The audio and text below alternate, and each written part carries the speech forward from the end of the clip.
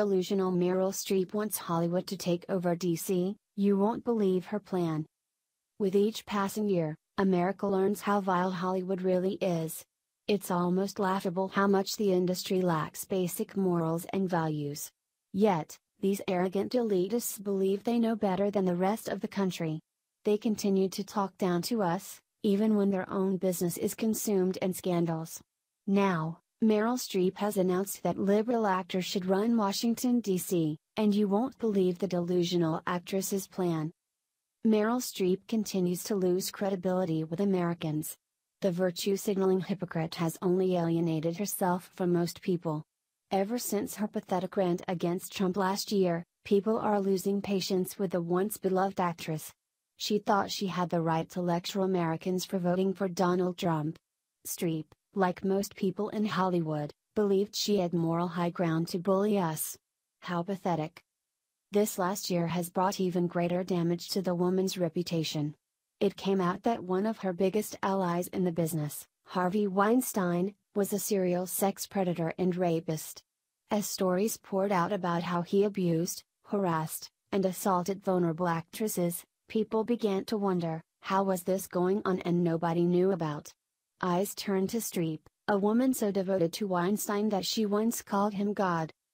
Few believe she and the rest of the Hollywood crowd were ignorant of Weinstein's crimes. Yet, Meryl continues to claim the moral high ground over conservatives in America. She has the audacity, along with the rest of Hollywood, to lecture us about right and wrong. Sorry, but we aren't protecting an industry full of rapists, harassers, and child molesters. The celebs are.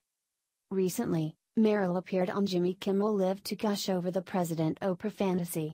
Ignoring the many sins of her own industry, she speculated on the kind of cabinet a celebrity president would have. Surprise, surprise, it would be nothing but vapid, shallow, attention seeking celebrities. Actress Meryl Streep has made a number of suggestions over potential cabinet members for an Oprah Winfrey presidency, including fellow actors such as Tom Hanks, Harrison Ford, and Dwayne The Rock Johnson. When pressed on who Oprah could appoint to her cabinet or as vice president, Streep also suggested just keeping it in Hollywood. Somebody from the stage mentioned Tom Hanks, and he seemed ready to go, she said. That would be a pretty good ticket.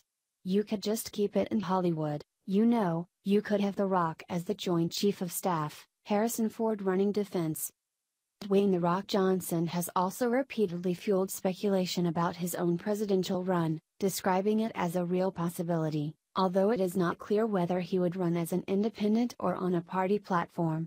Source, Breitbart. Oh, yes. And, let's make Lady Gaga the Secretary of Defense, Beyonce Director of the FBI, and Jack Black can run Health and Human Services. Perhaps Roman Polanski can run the Department of Education. Yes, I'm obviously being sarcastic. It stuns me to see how arrogant and blind this woman, and her industry, is. They have been protecting sexual predators for decades. They have lectured us on how evil we are for not voting for liberals. Their names are constantly in the tabloids for their wild, unchecked, immoral behavior. And, then, they are deluded enough to think they should be running the country?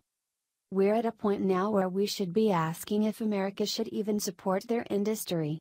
Why should we throw away our hard earned cash to prop up a business that abuses women, men, and children?